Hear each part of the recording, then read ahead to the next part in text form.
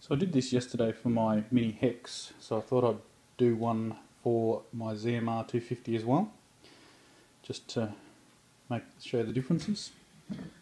So that's the one I did for my Mini Hex. So there's the ZMR, and so got the KK2 in under there. So for the KK2, motor 1, 2, 3, 4, same same uh, basic principles. You've got your center of gravity, you've got your angles, you've got your length of your arms, you've got your aileron plus minus, elevator plus minus, pitch or roll. And to calculate your mixer editor settings, you plug into the spreadsheet that I have, and I'll post the link.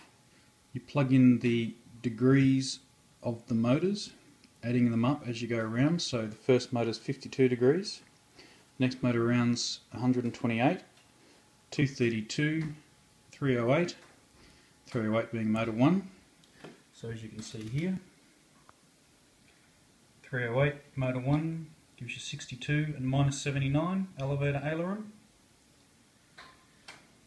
which is positive for your elevator, minus for your aileron.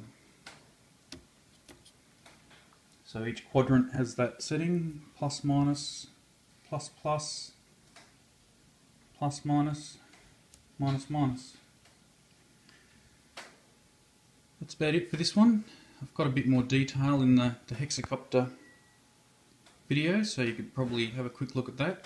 I've actually got the KK2 settings and how when you change the motor or the the mixer settings that you actually see the actual frame where the motors are change on the KK2 motor layout so it's pretty impressive. Thanks for watching.